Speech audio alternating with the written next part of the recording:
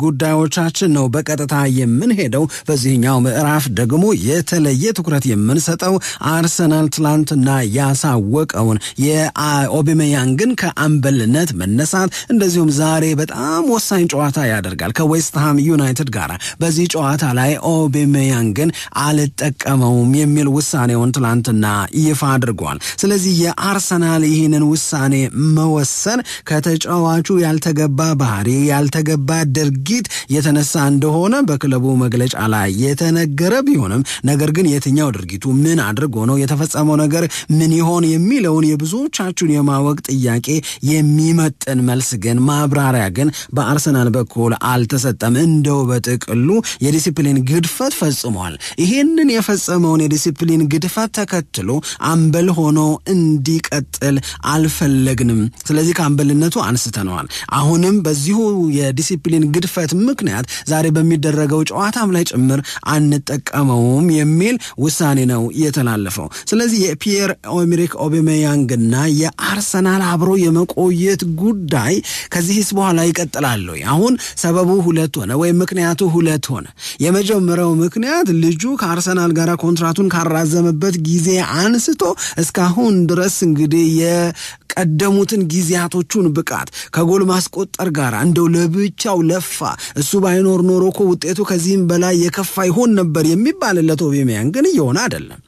የኦቢሜያንግ የሜዳ ላይ ውጤታማነት በጣም ነው የቀነሰው። ለምሳሌ ኦቢሜያንግ ለአርሰናል ጎል ካስቆጠረ እንግዲህ ጥቅምት ሀያ አካባቢ ነው። ከዛ በኋላ በህዳር ወር እንደዚሁም አሁን በጀመረው ታህሳስ ላይ እንኳን ጎል ሊያገባ አሁን ደግሞ እየገባም ጭምር አይደለም። ስለዚህ የአርሰናልን ውጤት ለማምጣት የሚደረገውን መፍጨርጨር የሚያግዝ መጓጓት የሚያግዝ ቁጭትና እልህ በአምበሉ በኦቢሜያንግ ላይ የለም ማለት ነው። ስለዚህ የመጀመሪያው ምክንያት ከኮንትራቱ መፈረም በፊት የነበረውን ኦቢሜያንግን በሜዳ ላይ እንቅስቃሴና በውጤታማነት ደጋግመን እያየነው አይደለም። ይሄ ሁላችንም የምንመሰክረው ነገር ነው።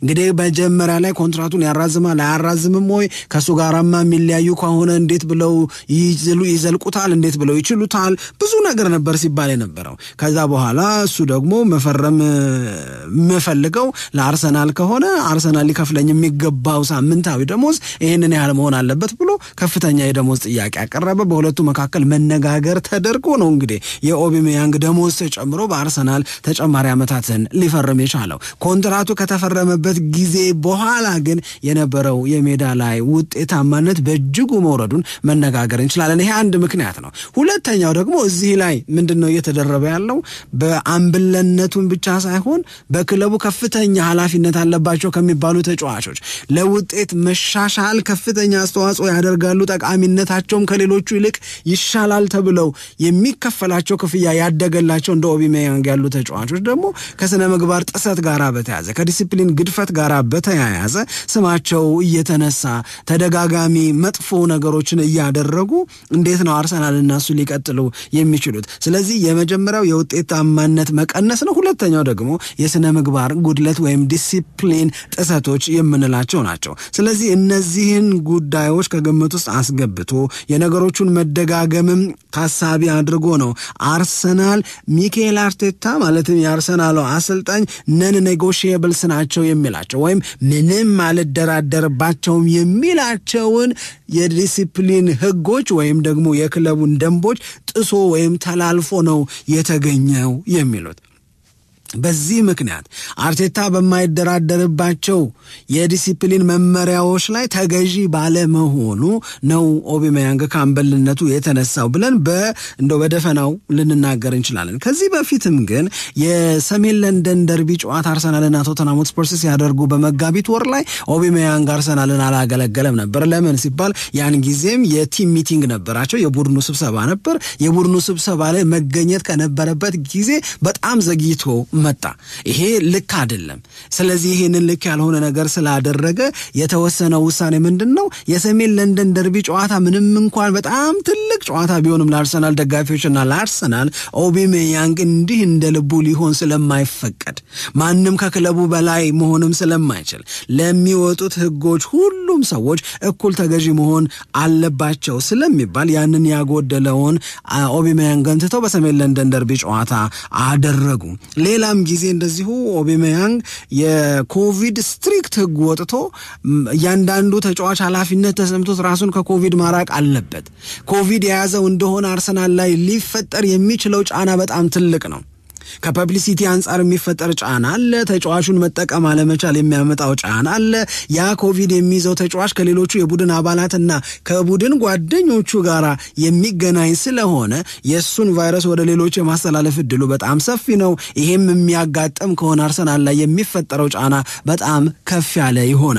ስለዚህ እነዚህ ሁሉ ነገሮች ተደራርበው ነው እንግዲህ የኦቢሜያንግና የሌሎቹ የአርሰናል ተጫዋቾች ለዚህ የኮቪድ ህግ ፕሮቶኮል ተገዢ መሆን አለባቸው የሚባለው።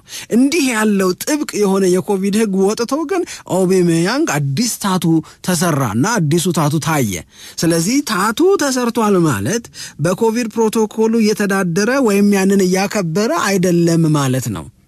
ስለዚህ ያንን ያላከበረውን ኦቤሜያንግን ዝም ልንለው ወይም ቸል ልንለው አንችልም ብለው በሱ ላይ እንደገና ቅጣቶች ተላለፉ። ስለዚህ ነው አንድ አይደለም ተደጋግሟል። በተደጋጋሚ ያደረጋቸው ነገሮች ናቸው ትላንትና አርሰናል የወሰነውን ውሳኔ እንዲወስን ያስገደዱት ብለን መናገር መደምደም እንችላለን። ግን ደግሞ በኦቤሜያንግ ላይ የታዩት አምበል ሆኖ ምሳሌ መሆን አለመቻል፣ አምበል ሆኖ የክለቡን ጥቅም ማስቀደም አለመቻል፣ ምሳሌ መሆን መቸገር አርሰናል ቤት ሲያጋጥም ግን ለመጀመሪያ ጊዜ አይደለም።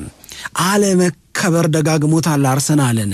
አርሰናልን ለምንድን ነው አለመከበር የደጋገመው የሚል ጥያቄን ማንሳት በጣም ተገቢ ይመስለኛል። ስለዚህ ነው ወደ ኋላ ሄደን አርሰናል ቤት ውስጥ ያለው አምበል አልዋጣልህ ያለበት እርግማን ምንድን ነው? ምክንያቱ ምንድን ነው? ሰበቡ የአርሰናል የአምበሎች አሿሿም ነው ስህተቱ?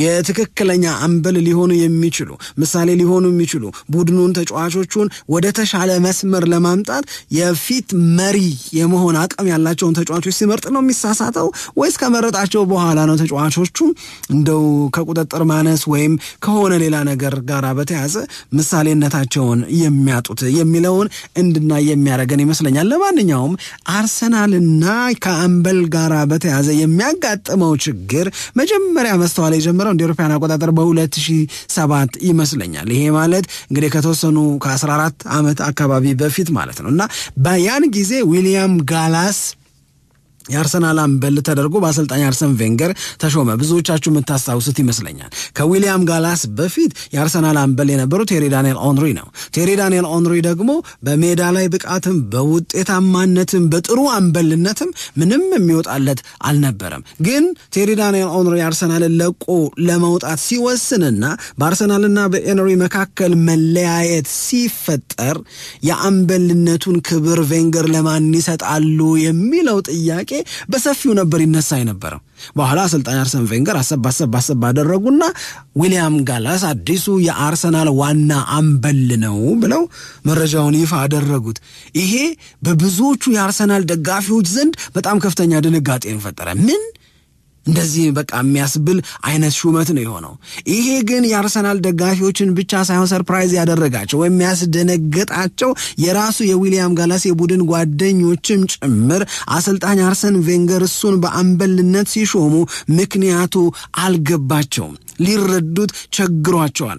ይሄ እንደቸገራቸው ለማወቅ ደግሞ በወቅቱ የአርሰናል ግብ ጠባቂ የነበረው የንስ ሌማን በግለ ታሪኩ በሚተርከው መጽሐፉ ላይ እንዲህ ብሎ ተናግሮ ነበር እና ልክ የአርሰናል አምበል ዊሊያም ጋላስ ሆነ የሚለው ወሬ ጋዜጦች ላይ ሲወጣና ያንን ስናውቅ ወይም ቬንገር ዊሊያም ጋላስን በአርሰናል አምበልነት መሾማቸውን ስናውቅ በጣም ብዙ የአርሰናል ተጫዋቾች በመልበሻ ቤት ውስጥ ራሳቸውን በመደነቅ በመደንገጥ ነቅንቀዋል የሚል ነገርን አነሳና ይሄ በጣም አስደንጋጭ ነበር። ያልተጠበቀ ሹመት ነበር ግን አሰልጣኝ አርሰን ቬንገር አድርገውታል እና ያንን ማክበር የሚሆነውን ማየት የእያንዳንዳችን ግዴታ ነው ይላል የን ስሌማን በግለ ታሪኩ መጽሐፍ ላይ። ይሄ ከሆነ በኋላ እንግዲህ ምናልባት ብዙዎቻችን የምናስታውሰው ይመስለኛል አርሰናል በየካቲት ወር 2007 ላይ ከበርሚንግሃም ጋር የሚያደርገው ጨዋታ ነበር። ያ ጨዋታ ሁለት ለሁለት ነበር የተለያዩት። ይሄ ጨዋታ ሁለት ለሁለት ሲለያይ በጣም ከፍተኛ የሆነ ትግል ይደረግበት የነበረው ትንቅንቅ የነበረበት ምክንያቱም አርሰናል ያንን የውድድር ዓመት በጣም strong ሆኖ ነበር የጀመረው። ስለዚህ የካ የካቲት ወር ላይ በርሚንግሃም ሲቲ እና አርሰናል ሲጫወቱ አርሰናል በመጨረሻዎቹ ደቂቃዎች አካባቢ ፍጹም ቅጣት ምት ተሰጠበት። ፍጹም ቅጣት ምቱ እንዲሰጥ ምክንያት የሆነው ደግሞ ጋኤል ክሊቺ ነበር። ስለዚህ ጋኤል ክሊቺ ላይ በጣም ከፍተኛ የሆነ ይሄ ማንባረቅ የምንለው አይነት ቁጣ ተቆጣ አምበሉ ዊሊያም ጋላስ። ስለዚህ ጋኤል ክሊቺ ላይ react ያደረገበት መንገድ ብዙዎቹን ያስደነገጠ ከልክነት ያለፈ ተቀባይነት አለ ወይ የሚል ጥያቄን ያስነሳ ነበር። ዊሊያም ጋላስ ግን ያንን አደረገው። ፍጹም ቅጣት ምቱ ተመታ። በርሚንግሃም ሲቲ ጎል አስቆጠረ። የአርሰናልና የበርሚንግሃም ሲቲ ጨዋታ ሁለት ለሁለት በሆናቸው ውጤት ተጠናቀቀ። አምበሉ አይዟችሁ፣ አንገታችሁን ቀና አድርጋችሁ ሂዱ የዛሬውን ስህተታችንን በሚቀጥለው ጨዋታ ላይ አርመን የተሻልን ሆነን እንቀርባለን ማለት ሲገባው ያ የተጠበቀበት እንደ አልቃሻ ሕፃን መሃል ሜዳ ላይ ቁጭ አለ። የቡድን ጓደኞቹን አኮረፈ። ወደ መልበሻ ቤት አለመግባትን መረጠ። እንደ አመፅ፣ እንደ ቁጣ አድርጋችሁ ልትወስዱ ትችላላችሁ። ይሄንንም በተመለከተ የንስ ሌማን ምን ብሎ ነው የሚገልጸው? እንደ ነጭናጫ ሕፃን ያደርገዋል። ስለዚህ ያኔ ፍጹም ቅጣት ምቱ ተመቱ አርሰናል ላይ ጎል ገብቶ ጨዋታ ሁለት ለሁለት ሲጠናቀቅ በአምበልነት የሚጠበቅበት ሌላ ነገር ቢሆንም እሱ ግን መሀል ሜዳ ላይ ሆኖ ንጭንጩን አሳየ። ከሱ በፍጹም የማይጠበቅ የህፃን የልጅ ተግባር ነው ያደረገው አለ። ከዛ በኋላ ቆይቶም ቢሆን ወደ መልበሻ ቤት መምጣቱ አልቀረም። መልበሻ ቤት ከመጣ በኋላ ደግሞ ከጂልበርቶ ሲልቫ ጋር በጣም ከፍተኛ የሆነ ግጭት ውስጥ ገባ።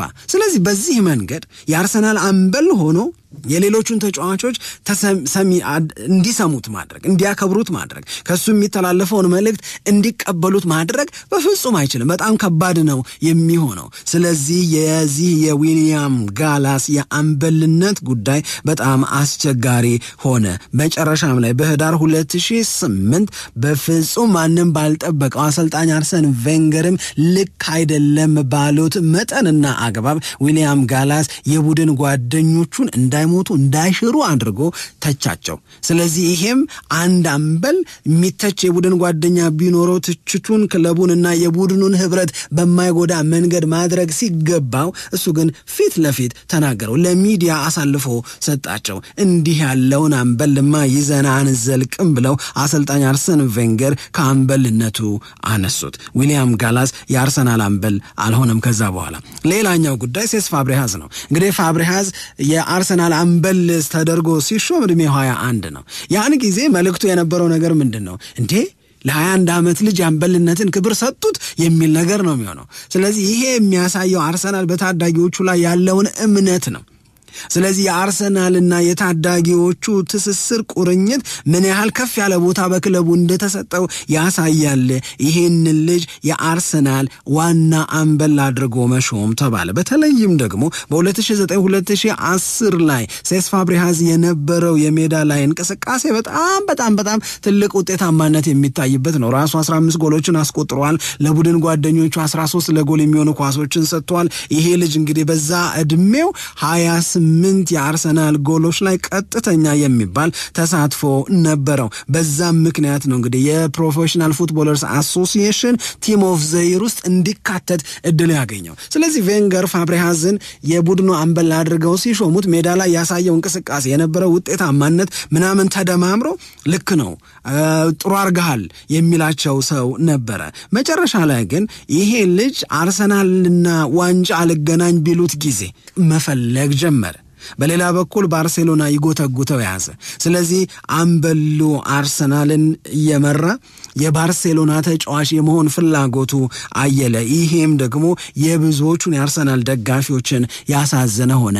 እንዳልታመነላቸው ቆጠሩት። እኛን እየወከለ ለእኛ እየተጫወተ የእኛ አምበል ሆኖ የባርሴሎና መሆን ያጓጓዋል ብለው ተቹት። ስለዚህ ከ loyalty ጋር ወይም ከታማኝነት ጋር የተያዘ ችግር ተደርጎ ይነሳበት ነበር። አምበል ሆኖ ታማኝ መሆን መቸገር የአርሰናልን ደጋፊዎች አላስደሰተም። ሮበን ቫን ፐርሲ ከፋብሪ ፋብሪሃዝ ቀጥሎ የአርሰናል አምበል የሆነ ተጫዋች ነው። ሆላንዳዊው እንግዲህ ለአርሰናል በተለየ ሁኔታ በ2011/12 የውድድር ዓመት 30 የፕሪሚየር ሊግ ጎሎችን አስቆጥሮ በእንግሊዝ የኮከብ ተጫዋችነትን ክብርም አግኝቶ ነበር። በኋላ ግን መውጣት እንደሚፈልግ በግልጽ ተናገረ። መናገር ብቻ ሳይሆን ኮንትራት አልፈረምም ከአርሰናል ጋር ብሎ የማንቸስተር ዩናይትድ ተጫዋች ሆኖ ከማንቸስተር ዩናይትድ ጋር የፕሪሚየር ሊጉን ዋንጫ ያሸነፈበት የውድድር ዓመት ሆነለት ማለት ነው እና የቫን ፐርሲንን ጉዳይ በተመሳሳይ መንገድ ነው የምናየው።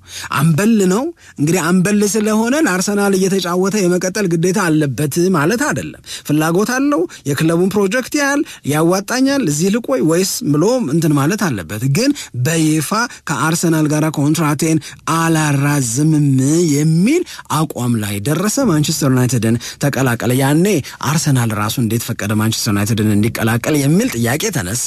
ቫን ፐርሲ ደግሞ እንዴት አርሰናልን ለቆ ለማንቸስተር ዩናይትድ ለመጫወት ፍላጎት ኖረው እሱም እንደዚሁ እሱ ላይ ጥያቄ የተነሳበት ጉዳይ ሆነ። ስለዚህ አሁንም እዚህ ጋር ከታማኝነት ጋር የተያያዘ ነው። እዚህ ጋር የቫን ፐርሲን ስህተት አይደለም የምናይ የሚመስለኝ ማየትም ያለብን የአርሰናልን አሿሿም ነው።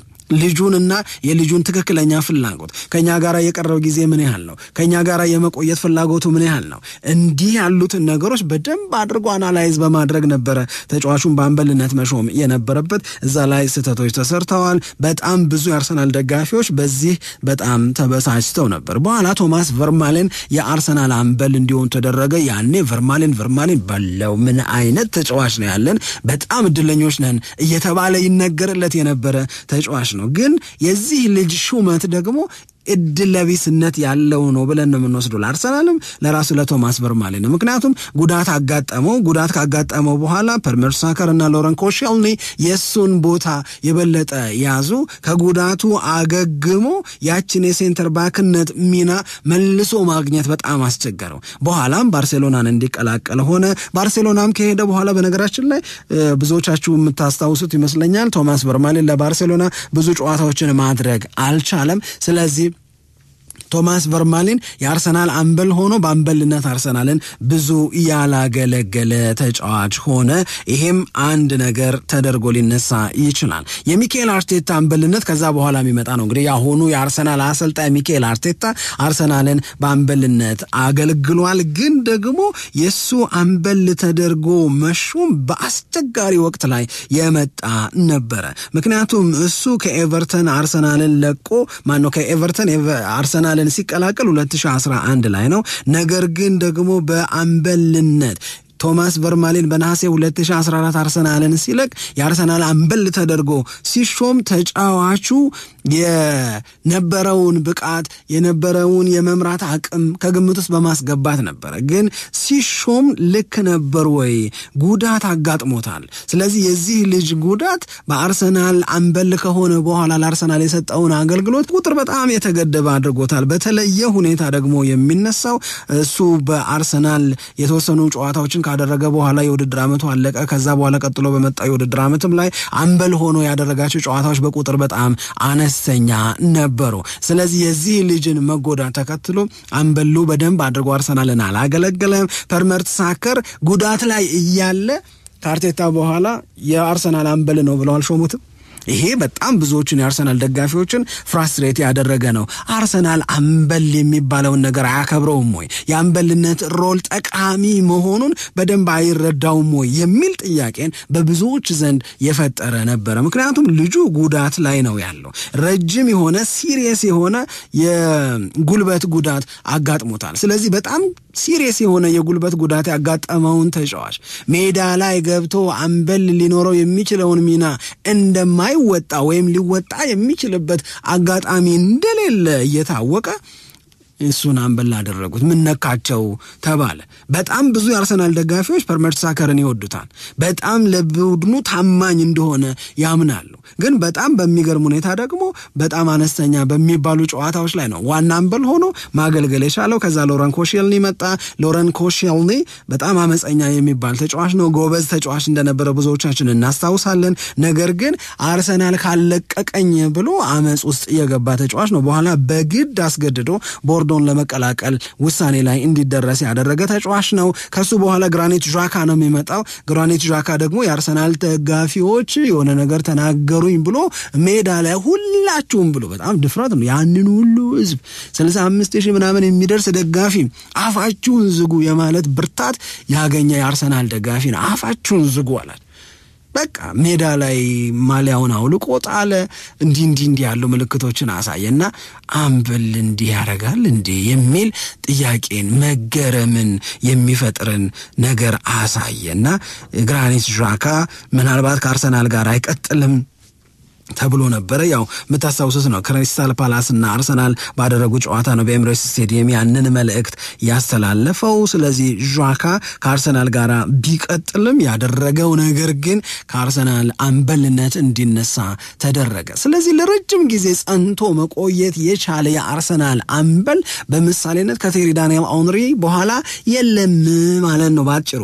ዊሊያም ጋላስን አየን፣ ሴስክ ፋብሪጋዝን፣ ሮበን ቫን ፐርሲን እንደዚሁም ደግሞ እነ ኮሼልኔን ፐር ሜርተሳከርን ሚካኤል አርቴታን እነ ግራኒት ዣካን አየን። ሁሉም የየራሳቸው ምክንያት ቢኖራቸውም ወይ በአርሰናል አምበልን የመሾም ሂደት ላይ የሚፈጠር ስህተት ወይ የማይታመንባቸው ተጫዋቾች አርሰናልን በአምበልነት የማገልገል አጋጣሚ በእጃቸው እየገባ ይህንን አይነት ድግግሞሽ ያለው አርሰናልን የሚያስተች ወይም አርሰናል ላይ ጥያቄን የሚያስነሳ ነገር ያደርጋሉ ነው። ስለዚህ የኦቢሜያንግ ከነዚህ በኋላ የመጣ ስለሆነ አርሰናል ከ2007 አንስቶ እስከ ዘንድሮ ድረስ ከአምበል ሹመት ጋር በተያያዘ እንኳን ሌላውን ስርዓት ሊያስይዙ ራሳቸው ስርዓት መያዝ በተቸገሩ ተጫዋቾች በአምበልነት የሚመራ ተጫዋች ነው ተብሏል። ስለዚህ ኦቤሜያንግ ከአርሰናል እንግዲህ የአምበልነት ክብር ውጪ ሆኗል። በቀጣይ አርሰናልን በአምበልነት የሚመሩት ሰዎች በተሻለ መንገድ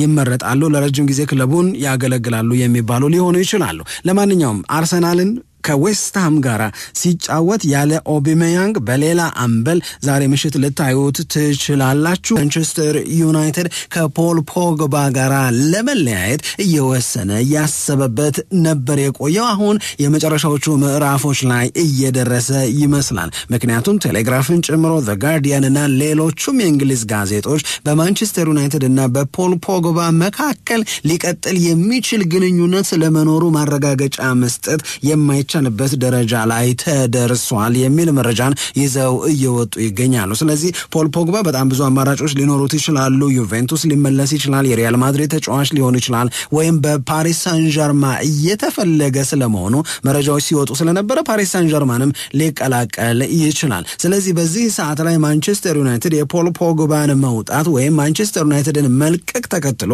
እዛ ቦታ ላይ ክፍተት እንዳይፈጠርበት ለማድረግ አማራጭ ተጫዋቾችን ማሰብ መጀመሩን እንግዲህ መረጃዎቹ እየወጡ ይገኛሉ በእነዚህ በጠቀስኳቸው ጋዜጦች። ስለዚህ እነዚህ አማራጮች እነማን ሊሆኑ ይችላሉ?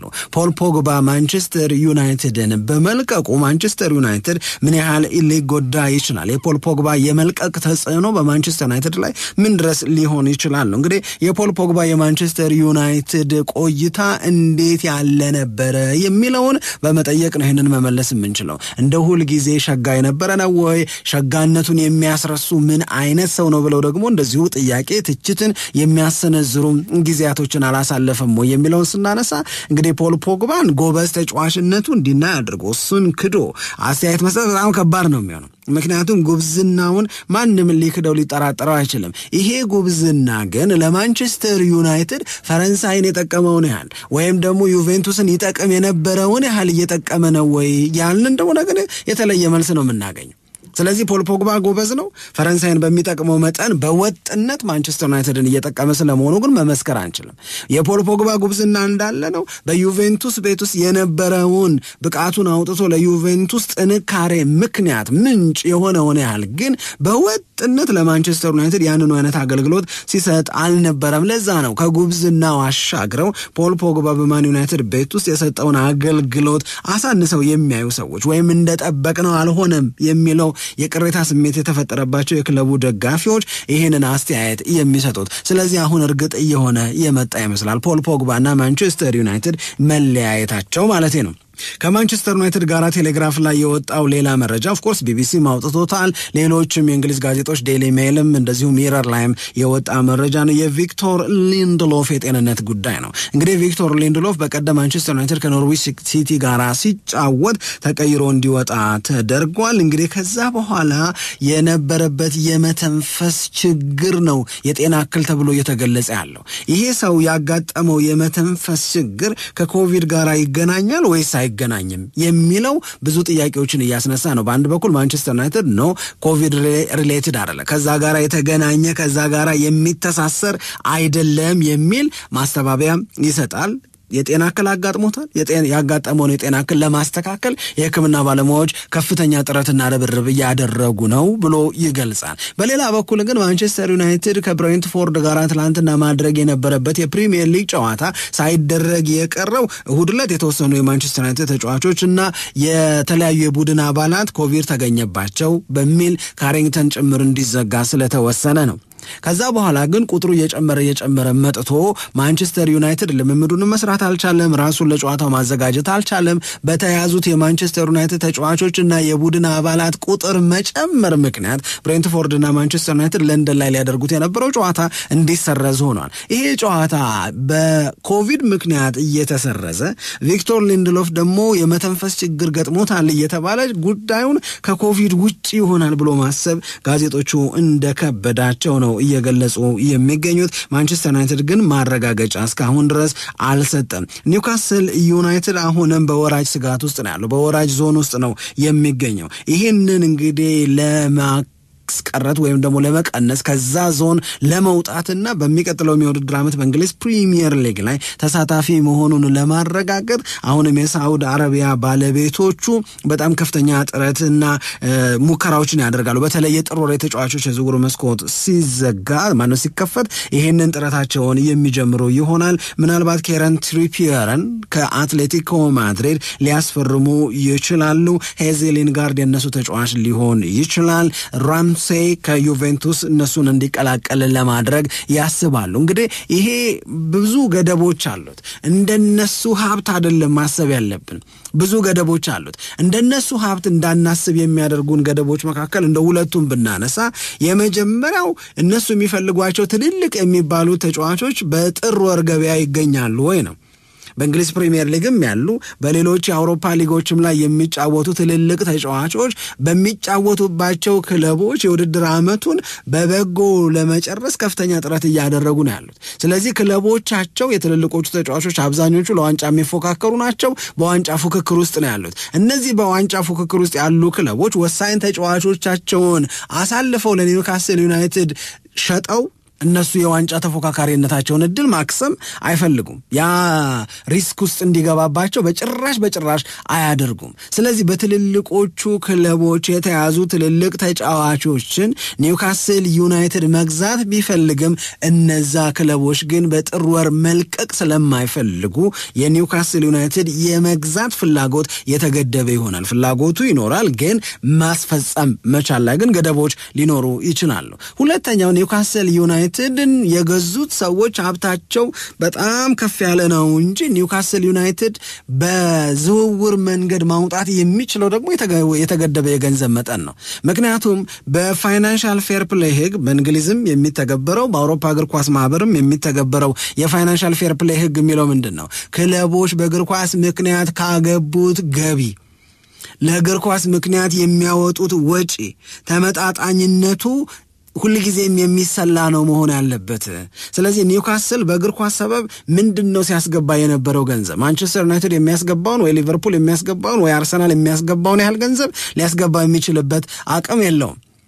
ስለዚህ እሱ የሚሰራው የተገደበ የገንዘብ አቅም ነው። በጣም አነስተኛ ነው ከነዚህኞቹ ጋር ሲነጻጸር ሪያል ማድሪድ ከሚሰራው ወይም ሌሎቹ ትልልቅ የምንላቸው ክለቦች ከሚሰሩት ጋር የሚስተካከል አይደለም የሚሆኑት። የሚቀራረቡበት የገንዘብ መጠን አለ፣ የገቢ መጠን ሊኖር ይችላል። ለምሳሌ ከውጭ ሀገር ካሉ የቴሌቪዥን company ዎች ጋር በተደረሰ ስምምነት የእንግሊዝ ፕሪሚየር ሊግን ለማሰራጨት ብለው እነዛ የውጭ ሀገር የቴሌቪዥን company ዎች ለእንግሊዝ ፕሪሚየር ሊግ አስተዳደር የሚከፍሉትን ክፍያ ሲካፈል ኒውካስል ዩናይትድ ተጠቃሚነቱ የሌሎቹን ያህል ሊሆን ይችላል፣ ተቀራራቢ ሊሆን ይችላል።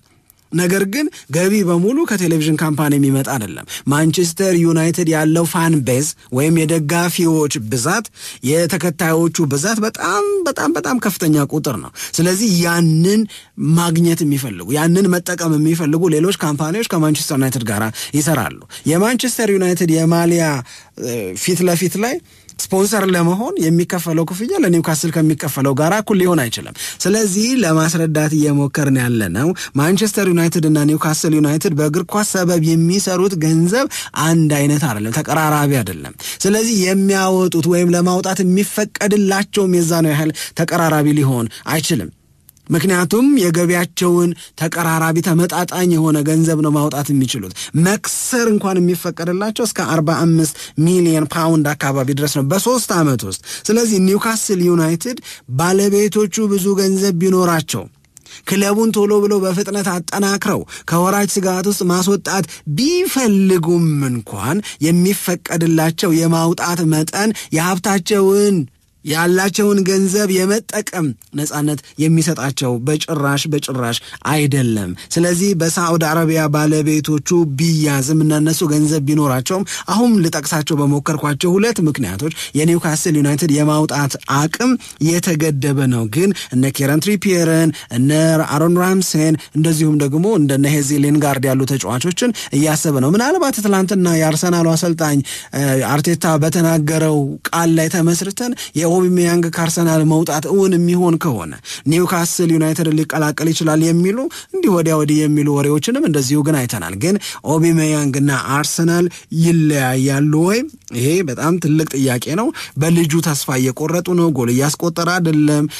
ምሳሌ መሆን የሚችል አምበል መሆን አልቻለም። በጣም ብዙ ልክ ያልሆኑ ነገሮችን ያደርጋል። በዛ ምክንያት ነው እንግዲህ አርሰናል ከአምበልነቱ ውጭ ያደረገው። በጣም ከፍተኛ ደሞዝ የሚከፈለው የአርሰናል ተጫዋች ነው። ስለዚህ ይህንን ተጫዋች አርሰናል ቢሸኘው ኒውካስል ዩናይትድ ሊቀላቀል ይችል ይሆናል። እንግዲህ ግን አርቴታ ትላንትና አረጋግጦ መናገር ያቃተው ነገር በጥር ወር ከአርቴታ ማነው ከኦባሜያንግ ጋር ልትለያዩ ትችላላችሁ እንዴ የሚል ጥያቄ ቀርቦለት ኧረ አንለያይም ይህንን ችግር አልፈን የበለጠ የተሻለ የስኬት ጊዜን አብረን በጋራ እናሳልፋለን ብዬ ተስፋ አደርጋለሁ አይደለም ያለው። anything can happen በቃ ምንም ነገር ሊሆን ይችላል ሊወጣ ይችላል እያለን ነው ማለት ነው። እና በዚህ መንገድ ነው ጋዜጦቹም እያወጡት የሚገኙት። የእንግሊዝ ፕሪሚየር ሊግ ክለቦች አሰልጣኞች በአንድ ነገር ግር ብሏቸዋል። እንግዲህ አሁን አዲስ የኮሮና ቫይረስ ደግሞ መጥቷል። ትናንትና በሰበር ዜና ሲነገር የነበረው አዲሱ ቫይረስ በዩናይትድ ኪንግደም ሰው መግደል ጀመረ የሚል ዜና ነው። ስለዚህ ይሄ ኦማይክሮን የሚሉት አዲሱ variant ቫይረስ በጣም ስርጭቱ በጣም ፈጣን ነው። ከዚህ በፊት ከነበሩት የኮቪድ ቫይረሶች በሙሉ የበለጠ በጣም የመሰራጨት አቅሙ በጣም ፈጣን መሆኑ ተገልጿል።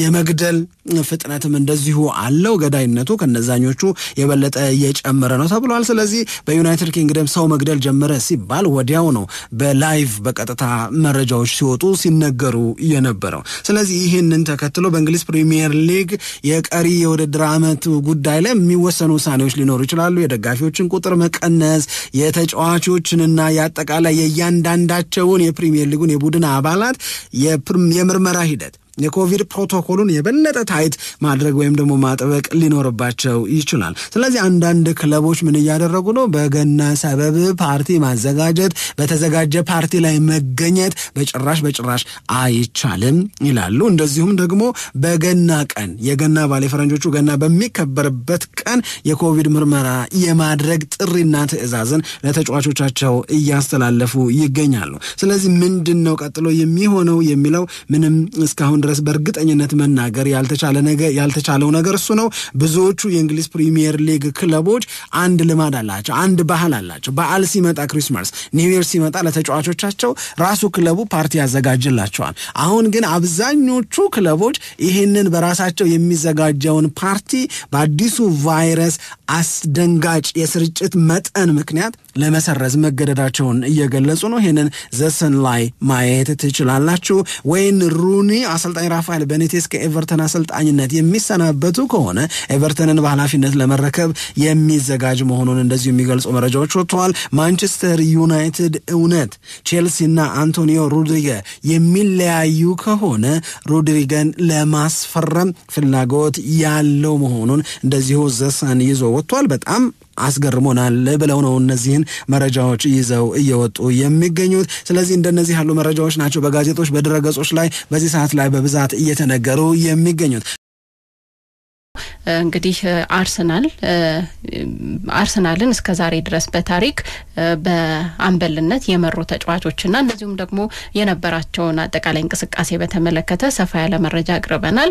ትላንትና ምሽት ላይ ይሄ መረጃ ከወጣ ጊዜ ጀምሮ እንግዲህ ከአርሰናል ጋር በተያያዘ የተለያዩ መረጃዎች እየወጡ ይገኛሉ። በተለይም ኦቦሚያንግ በቀጣይ ወደ ባርሴሎና የመሄድ እድሉ በጣም ሰፊ ነው የሚሉ መረጃዎች በስፋት ስንመለከት ነበረ። እንግዲህ ከዚህ ጋር በተያያዘ የሚወጡትን መረጃዎች ያው እየተከታተልን ለእናንተ ለአድማጮቻችን እናቀርባለን። የእንግሊዝ ፕሪምየር ሊግ ጨዋታዎች እየተደረጉ ነው የሚገኘው። ቅድመን በፕሮግራማችን መግቢያ ላይ ትላንትና ምሽት የተደረጉ ጨዋታዎችንና እንደዚሁ ዛሬ ከዛ በተጨማሪ ነገ የሚደረጉ ጨዋታዎችን ነግረናቸዋል። ትላንትና ከተደረጉ ጨዋታዎች መካከል ግን ማንቸስተር ሲቲ ከሊድስ ጋር ያደረገውን ጨዋታ በተመለከተ አንዳንድ ሪከርዶች የተመዘገቡበት ስለሆነ እሱን ለእናንተ ብንነግራችሁ በጣም ጥሩ ነው። ትላንትና ማንቸስተር ሲቲ ሊድስን ሶስት ሰባት ለዜሮ በሆነ ውጤት አሸንፏል። በጣም ትልቅ ውጤት እየተመዘገበበት ነው። አጠቃላይ ከአሰልጣኙ ከፔፕ ጋርዲዮላ እንደዚሁም ደግሞ አጠቃላይ ማንቸስተር ሲቲ እንደ ክለብና ማሬዝ በየራሳቸው ያስመዘገቧቸው የተለያዩ ሪከርዶች አሉ። ማንቸስተር ሲቲ ትላንትና ጨዋታውን እንግዲህ ሲያሸንፍ ሰላሳ ሶስተኛ ድሉን ያስመዘገበበት ነው። ይሄ ማለት ግን በፈረንጆቹ አቆጣጠር ሁለት ሺ ሀያ አንድ ከገባ ጊዜ ጀምሮ አጠቃላይ ያሸነፋቸውን ጨዋታዎች ቁጥር ሰላሳ ሶስት አድርሰዋል። ይሄ ከሊቨርፑል ጋራ ሪከርድ እንዲጋራ ያደረገበት ነው። እንደምታስታውሱት ባለፈው ሳምንት በነበረው ጨዋታ ማንቸስተር ሲቲ ከወልቭስ ጋራ ባደረገው ጨዋታ ላይ በአንድ አመት ውስጥ ማለትም ሁለት ሺ ሀያ አንድ የፈረንጆቹ አመት ከገባ ጊዜ ጀምሮ እንደዚሁ ሰላሳ ሁለተኛ ጨዋታውን ያሸነፈበት ነበረ። አጠቃላይ አርባ የሊግ ጨዋታዎችን አድርጎ በእነዚህ አርባ ጨዋታዎች ደግሞ በሁለት ጨዋታዎች አቻ ወጥቶ በስድስት ጨዋታዎች ተሸንፎ ነበረ ሰላሳ ሁለቱን ማሸነፍ የቻለው። ትላንትና የሚያደርገው ጨዋታ ሲጠበቅ የነበረው ከዚህ በፊት ሊቨርፑል በ1982 ሁለት እንግዲህ ይዞት የነበረውን ሪከርድ የሚጋራበት ስለነበረ ነው። ሊቨርፑል በዚህ የውድድር ሰላሳ ሶስት ጨዋታዎችን አሸንፎ እንደዚሁ ሪከርድ ይዞ ነበር። ትላንትና ደግሞ ማንቸስተር ሲቲ ከሊቨርፑል ጋራ የሚጋራበትን ውጤት አስመዝግቧል። በቀጣይ ምናልባትም እንግዲህ ተከታታይ የሚባሉ ጨዋታዎችን ማንቸስተር ሲቲ ስለሚያደርግ ይህንን ሪከርድ ይሰብረዋል የሚሉ መረጃዎችም ደግሞ ተያይዘው እየወጡ ስንመለከት ነበር። ለማንኛውም እንደ ክለብ ማንቸስተር ሲቲ ይህንን ሪከርድ የሰበረበት እንደሆነ እንደዚሁ ማንሳት እንችላለን። ከዛ በተጨማሪ ግን እንደዚሁ ከፔፕ ጋርዲዮላ ጋር በተያያዘ ያሉትን መረጃዎች ስንመለከት ፔፕ ጋርዲዮላ የትላንትና ጨዋታውን ካደረገ በኋላ አጠቃላይ ከማንቸስተር ሲቲ ጋር በነበረበት የቆይታ ጊዜ አምስት መቶ ጎሎችን እንደዚሁ ማንቸስተር ሲቲ እንዲያስቆጥር ያደረገ አሰልጣኝ ሆኗል። ይህም እንግዲህ በሰፊው ከአሰልጣኙ ጋር በተያያዘ የተለያዩ መረጃዎች ሲወጡ ሲነገር የነበረ ነው። ቅድምን በፕሮግራማችን መግቢያ ላይ ስናነሳ እንደነበረውና እንዳዳመጣችሁ ትላንትና ሰባት ለዜሮ በሆነ ውጤት ማንቸስተር ሲቲ ሲያሸንፍ በተለይ ስድስት የተለያዩ ተጫዋቾች እነዚህን ሰባት ጎሎች ማስቆጠራቸው ትኩረት ከሳቡ ጉዳዮች መካከል የሚጠቀስ ነው። ኬቨን ደብሮይነ ሁለት ጎሎችን አስቆጥሯል። ከዛ በተጨማሪ ግን ያው ፊል ፎደን፣ ጃክ ግሬሊሽ፣ ማህሬዝ፣ ጆን ስቶንስ እንዲሁም ደግሞ ናታን አኬ ጎሎቹን ያስቆጠሩ ተጫዋቾች ናቸው። ከዚህ ጋር በተያያዘ እንግዲህ ፔፕ ጋርዲዮላ በሁለት መቶ ሰባት ጨዋታ አምስት መቶ ጎል ማስቆጠር የቻለ አሰልጣኝ የሆነበትን ታሪክ አስመዝግቧል። ከዚህ በፊት እንግዲህ አምስት መቶ ጎሎችን ፈጥኖ በሁለት መቶ ሰላሳ አራት ጨዋታዎች በማስመዝገብ ሪከርድ የነበራቸው የርገን ክሎፕ ናቸው። አሁን ግን በሁለቱ መካከል ያለውን የጨዋታ ቁጥር ብዛት ስትመለከቱት በእርግጥ በጣም ሰፊ ነው። የርገን ክሎፕ ሁለት መቶ ሰላሳ አራት ጨዋታዎችን ካደረጉ በኋላ ነው አምስት መቶ ጎል ላይ የደረሱት። በፔፕ ጋርዲዮላ በኩል ግን ስንመለከተው ሁለት መቶ ሰባት ሰባት ጨዋታዎችን ካደረገ በኋላ ነው አምስት መቶ ጎል ላይ የደረሰው። ስለዚህ ይሄ ደግሞ በጣም ፈጣን የሚባል አሰልጣኝ እንዲሆን ያደርገዋል። አምስት መቶ ጎል ላይ በተወሰነ ጨዋታ በመድረስ ማለት ነው። አጠቃላይ በማንቸስተር ሲቲም በኩል የትላንትናው የሰባት ለዜሮ ውጤት ከዚህ በፊት እንግዲህ በ2019 ዋትፎርድን ካሸነፈበት ከስምንት ለዜሮ ውጤት በኋላ የመጣ እንግዲህ በሰፊ የጎል ልዩነት የተጠናቀቀ ጨዋታ መሆኑን እናነሳለን። ከማሀሬዝ ጋር በተያያዘ ያሉትን መረጃዎች በጣም አድርገን ለማንሳት ያክል ሪያል ማሀሬዝ እንግዲህ ሶስተኛው አፍሪካዊ ተጫዋች ሆኗል። በእንግሊዝ ፕሪምየር ሊግ ላይ በሁለት የተለያዩ ክለቦች መቶና ከመቶ በላይ ጨዋታዎችን በማድረግ ይህም እንግዲህ ትላንትና ለሱ የተለየ ምሽት እንደሆነ ከሚገልጹ መረጃዎች መካከል እንደዚሁ መነሳት የሚገባው ነው። እንግዲህ ያው የተለያዩ ሁለት ተጫዋቾች ነበሩ ከተለያዩ በእንግሊዝ ፕሪምየር ሊግ ላይ ከሚሳተፉ ክለቦች ጋር ተጫውተው በእያንዳንዳቸው መቶና ከመቶ በላይ ጨዋታዎችን ማድረግ የቻሉ በተሳተፉበት ክለብ መቶና እንደዚሁም ደግሞ ከመቶ በላይ ጨዋታዎችን እንደዚሁ ማድረግ የቻሉ ሪያል ማሪዝ ከሌስተር ሲቲ ጋራ ያው በነበረው ቆይታ አንድ መቶ ሰላሳ ዘጠኝ ጨዋታዎች ላይ እንደዚሁ መሰ መሰለፍ ወይንም መሳተፍ የቻለ ነው። እንግዲህ ከሌስተር ሲቲ ጋራም ከመቶ በላይ ጨዋታዎችን አድርጓል ማለት ነው። ከዚህ በፊት ይህንን ሪከርድ ይዘው የቆዩት አንደኛ ናይጄሪያዊው እንደዚሁ ንዋንኮ ካኑ የምናስታውሰው ነው። እሱ እንግዲህ ከአርሰናልና ከፖርትማውዝ ጋራ በነበረው ጨዋታ ከፖርትማውዝ ጋራ በነበረው የቆይታ ጊዜ በሁለቱም ክለቦች ላይ ከመቶ በላይ ጨዋታዎችን ማድረግ ችሏል። ከዛ በተጨማሪ ሴኔጋላዊው እንደዚሁ ኮያቴ እንደዚሁ በዌስትሃምና ከክሪስታል ፓላስ ጋር በነበረው የቆይታ ጊዜ በእያንዳንዳቸው ክለብ ላይ መቶና ከመቶ በላይ የጨዋታ ጊዜ እንደነበረው ማንሳት እንችላለን። አሁን ደግሞ ሪያል ማሬዝ እንደዚሁ ሶስተኛው አፍሪካዊ ተጫዋች ሆኗል። ከሌስተር ሲቲና ከማንቸስተር ሲቲ ጋራ እንግዲህ በእያንዳንዳቸው ቅድም እንደተናገርኩት በእያንዳንዳቸው የክለቡ የቆይታ ጊዜ መቶና እንደዚሁም ደግሞ ከመቶ በላይ ጨዋታዎች ላይ መሳተፍ የቻለ ሶስተኛው አፍሪካዊ ተጫዋች ሆኗል። ይሄም ለሱ የተለየ ጊዜ እንደነበረ ማንሳት እንችላለን። እነዚህ ከትላንትና ምሽት ጨዋታዎች ጋር በተያያዘ እንደዚሁ ብናነሳቸው ጥሩ ነው ብለን ያሰብናቸው መረጃዎች ናቸው። ከኦቦሚያንግ ጋር በተያያዘ እንግዲህ ሰማኒያ አንድ ዜሮ አንድ ላይ አሁንም ድረስ በጣም ብዙ ጥያቄዎች እየመጡ ነው። ቅድም በስፋት በአርሰናል ቤት ውስጥ ያለውንና ከኦባሚያንግ ጋር በተያያዘ መነሳት አለባቸው ብለን ያሰብናቸውን ወቅታዊ መረጃዎች በሙሉ ስናነሳ ቆይተናል። ዛሬ እንግዲህ በሚደረገው ጨዋታ ላይ ይሰለፋል አይሰለፍም ወይ የሚልም ጥያቄዎች እየተመለከትን እንገኛለን። ከዛ በተጨማሪ ኦባሚያንግ ቡድኑን ዛሬ ጨዋታ ላይ እንግዲህ የማይመራ ከሆነ ማን ነው በአምበልነት ጨዋታ ላይ የሚሰለፈው የሚሉ ጥያቄዎችም አሉ። በክለቡ በኩል የወጡትን መረጃዎች ስንመለከት ነበረ ዛሬ ጨዋታ ሁሉም የአርሰናል ተጫዋቾች አምበሎች ናቸው የሚል መረጃ ነው ከአርሰናል ክለብ በኩል የወጣው። ስለዚህ ሁሉም የሚጠበቅበትን የየራሱን ኃላፊነት ይወጣል እና ራሱንም ደግሞ መቁጠር ያለበት እንደ አምበል ነው ሁሉም ተጫዋች የሚል ነገር ከክለቡ በኩል የወጣውን መረጃ ስንመለከት ይህንን ማንሳት እንችላለን። ዛሬ ግን የሚደረገው ጨዋታ አምስት ሰዓት ላይ ነው። ከዌስትሃም ጋር የሚደረግ ጨዋታ ነው። በጣም በትልቅ ጉጉት የሚጠበቅ ጨዋታ እንደሆነ በድጋሚ ማስታወስ እንፈልጋለን። ሌላ ግን በነገራችን ላይ ዛሬ በእንግሊዝ ፕሪምየር ሊግ ከሚደረጉ ጨዋታዎች መካከል የሚጠበቁ ጨዋታዎችም አሉ። አንደኛው የበርንሌይና ዋትፎርድ የሚያደርጉት ጨዋታ ነው። እንግዲህ ይሄኛው ጨዋታ በተለይም በፕሪምየር ሊጉ በርንሌ አስራ ስምንተኛ ደረጃ ላይ ዋትፎርድ ደግሞ አስራ ሰባተኛ ደረጃ ላይ ሆነው የሚያደርጉት ጨዋታ ነው።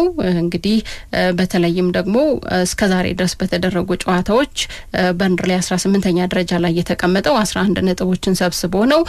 ዋትፎርድ ደግሞ አስራ ሰባተኛ ደረጃ ላይ የተቀመጠው አስራ ሶስት ነጥቦችን በመሰብሰብ ነው። ስለዚህ አጠቃላይ እነዚህ ሁለት ክለቦች የሚያደርጉት ፉክክርና ከወራጅ ቀጠናው በተለየ መንገድ ከፍ ለማድረግ የሚደረግ በጣም ፉክክር ያየለበት ጨዋታ እንደሚሆን ማንሳት እንችላለን። በበርንሌ በኩል እንግዲህ አስራ ስምንተኛ ደረጃ ላይ ሲቀመጥ እስከ ዛሬ ድረስ ጨዋታዎችን ማሸነፍ በጣም እየተቸገሩ እንደሆነ በክለቡ በኩል ያየናቸውን መረጃዎች ማንሳት እንችላለን። እንደዚሁ ደግሞ በዋትፎርድ በኩል ክላውዲዮ ራኔሪ እንግዲህ ከዚህም በኋላ በሚኖሩት ጨዋታዎች ላይ በተለይም ከወራጅነት ቀጠናው ከፍ ለማድረግ እንደነዚህ አይነት ክለቦችን ሲያገኙ በማሸነፍ ነጥባቸውን የበለጠ ማደራጀት የሚችሉባቸውን እድሎች እንዳሉ ነው መረጃዎቹ የሚገልጹት። ከዛ በተጨማሪ ግን እንደዚሁ በ አገልግሎት እየሰጣቸው ነው ያሉት እንደ ኒውካስትል፣ ኖርዊች ካሉት ክለቦች በስድስት ነጥብ ከፍ ለማለት ይህንን አጋጣሚ በበለጠ መንገድ ይጠቀሙበታል ተብሎ እየተገለጸ ነው የሚገኘው። የኢማኑኤል ዴኒስን ጉዳይ ስናነሳ ባለፉት አምስት የፕሪሚየር ሊግ ጨዋታዎች ላይ አራት ጎሎችን እንደዚሁ ማስቆጠር ችሏል። ስለዚህ ለሳቸው እየሰጠ የሚገኘው አገልግሎት ከፍ ያለ ስለሆነ ለራሱም ደግሞ የሚታይበትን እድል የበለጠ እያሰፋ ስለሆነ በዚህም ጨዋታ ላይ ጥሩ ነገር ያደርጋል ተብሎ እየተጠበቀ ነው የሚገኘው ዛሬ የበርንሌይና የዋትፎርድ ጨዋታ እንግዲህ ጥሩ ፉክክር ከሚደረግባቸው የእንግሊዝ ፕሪምየር ሊግ ጨዋታዎች መካከል የሚጠቀስ መሆኑንም ማንሳት እንችላለን። ነገም የሚደረጉ እንግዲህ ጨዋታዎች አሉ በእንግሊዝ ፕሪምየር ሊግ ያው ቀደም ብሎ ስናነሳቸው የነበሩ ናቸው። ነገር ግን ያው ከጨዋታዎቹ ጋር በተያያዘ የሚጠበቁ ነገሮችም አሉ። ለምሳሌ የቸልሲና የኤቨርተን ጨዋታን በተመለከተ በተለይ የሮሜሎ ሉካኩ በጀማሪነት ወደ ሜዳ ይመለሳሉ የሚለውም እንደዚሁ በጥያቄነት እየተነሳ ነው የሚገኘው። የቀድሞ ክለቡን ነው የሚገጥመው ሮሜሎ ሉካኩ። ነገር ግን እንግዲህ በተለይም በጉዳት ምክንያት ለረዘም ላለ ጊዜ ጨዋታዎች ላይ መሰለፍ እንዳልቻለ የምናስታውሰው ነው። ከመስከረም ወር አጋማሽ በኋላም በፕሪሚየር ሊጉ ላይ እንደዚሁ ጎል ማስቆጠር አልቻለም።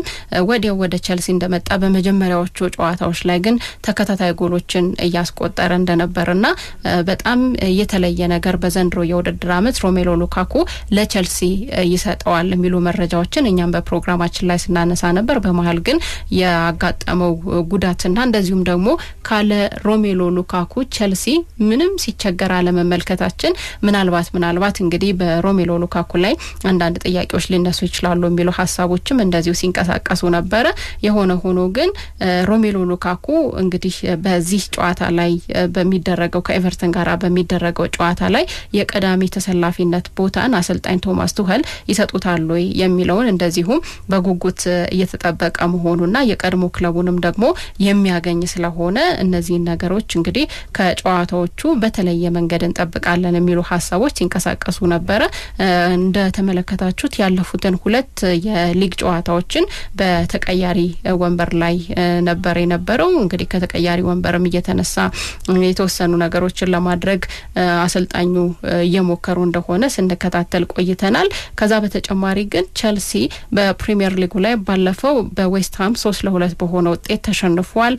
እንደገና ደግሞ ባለፈው ሳምንት ላይ በነበረው ጨዋታ ከሊድስ ጋራ በተገናኘበት ጨዋታ ግዴታ የጆርጊኒዮን ፔናልቲ መጠበቅ ነበረበት ለማሸነፍ። ስለዚህ ቸልሲ መጀመሪያ ላይ የሰጠን ካለው ነገር በተወሰነ መንገድ እየሳሱ የሜዳ ላይ እንቅስቃሴዎችን እያሳየን ነው ወይ? በቀጣይስ ደግሞ የሚያደርጋቸው ጨዋታዎች ላይ በተለየ መንገድ እየተፈተነ ይቀጥላሉ የሚሉ ጥያቄዎችም እየተነሱ ስለሆነ ይህ ጨዋታ ይጠበቃል። በእርግጥ ኤቨርተን በዘንድሮ የውድድር ዓመት የቀደመ ጥንካሬውን ይዞ ነው ያለው ብሎ ለመናገር ትንሽ ያስቸግራል። ባለፈው እንደተመለከታችሁት ከክሪስታል ፓላስ ጋር ሲጫወት ክሪስታል ፓላስ በተለየ መንገድ ነበረ ኤቨርተንን ማሸነፍ የቻለው።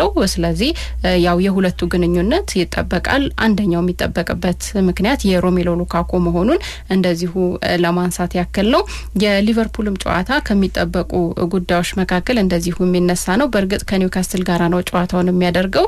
ብዙ ይቸገራል ብሎ ለመናገር ትንሽ ያስቸግራል።